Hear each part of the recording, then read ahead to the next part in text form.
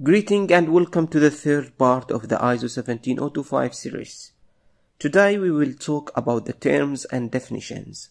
There are general terms you need to know and remember. When you ever see the word shall, this indicate a requirement.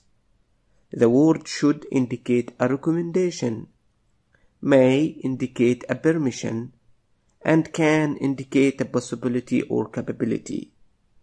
The terms and definition given in the ISO Guide 99 and ISO 17000 is also applied.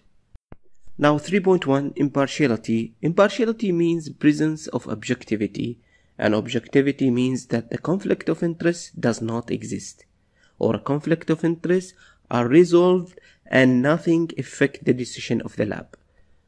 Other terms that describe impartiality are independence, freedom from conflict of interest, freedom from bias, neutrality, fairness, and open-mindedness.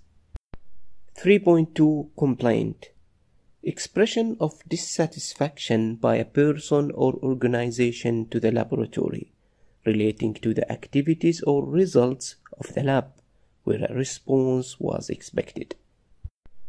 3.3 Interlaboratory Comparison Organization performance and evaluation of measurement or test on the same or similar items by two or more labs. 3.4 Intra-laboratory comparison organization performance and evaluation on the same or similar item by the same laboratory in accordance with the predetermined conditions.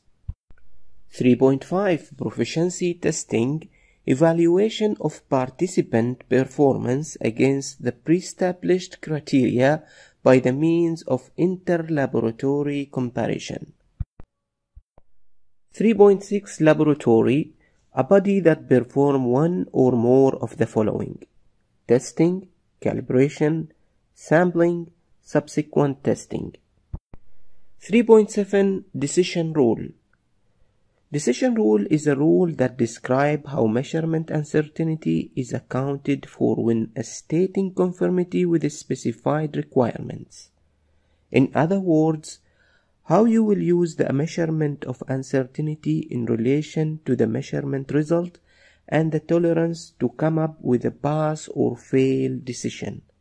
3.8 Verification a provision of objective evidence that a given item fulfill a specific requirements. 3.9 Validation A verification when the specified requirements are adequate for an intended use. Here we reach to the end of today's video. If you would like to receive our latest video, don't forget to subscribe to our channel, like and share those videos with your friends. See you next time.